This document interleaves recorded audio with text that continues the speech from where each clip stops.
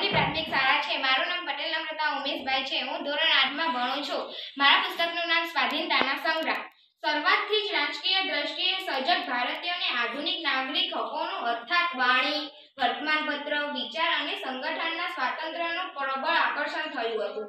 પરિણામે જ્યારે જ્યારે સરકારે આ અધિકારો પર અંકુશ લાદવાનો પ્રયત્ન કર્યો, ત્યારે ત્યારે બચાવ કર્યો. ભારતની ભિન્ન ભિન્ન ભાષાઓના વર્તમાનપત્ર પર અંકુશ લાદવાના ઈરાદાથી અઢારસો ઇઠ્યોતેરમાં અમલમાં આવેલો વર્નાક્યુલર પ્લેસ એક્ટ અઢારસો એંસીમાં પાછો ખેંચી લેવામાં આવ્યો નહીં.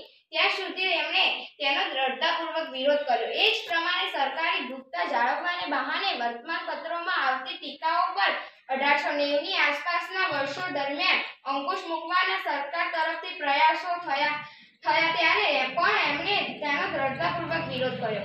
આ અંગે સૌથી વધારે નોંધવા જેવો પ્રસંગ તો બાળ ગંગાધર તિલક અને બીજા આગેવાનો અને વર્તમાન પત્રોના તંત્રીઓની અંગ્રેજ સરકારની સામે અસંતોષ ફેલાવવાના આરોપસર થયેલી ધરપકડનો હતો. મહાન રાષ્ટ્રવાદી નેતા બની ચૂકેલા તિલકને અઢાર મહિનાની સખત કેદની અમાનુષી સજા ફરમાવવામાં આવી.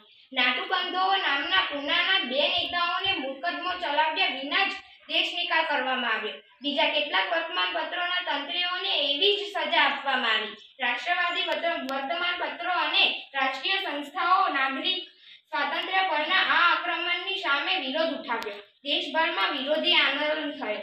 રાતોરાત ટિળક અને લોકપ્રિય અખિલ ભારતીય નેતા બની ગયા અને જનતાએ એમને લોકમાન્ય તરીકે બિરદાવ્યા. હવે સરકારે વાણી, અખબાર પત્રના સ્વાતંત્ર્ય પર અંકુશ મૂકવા અને પોલીસને વધારે સત્તા આપવા નવા કાયદાઓ પસાર કર્યા. હવે રાષ્ટ્રવાદી કાર્યરતો ની સાથે એમને ગુંડા અથવા બદમાશો ગણીને ગેરવર્તન કરી શકાતું હતું. આ કાયદાઓની સામે દેશવ્યાપી આંદોલન થયું. હકીકતમાં હવે પછી નાગરિક સ્વાતંત્ર્યની રક્ષા માટેની ચળવળ, રાજકીય સ્વાતંત્ર્યની ચળવળોનો અવિભાજ્ય અંશ બની રહેવાની હતી.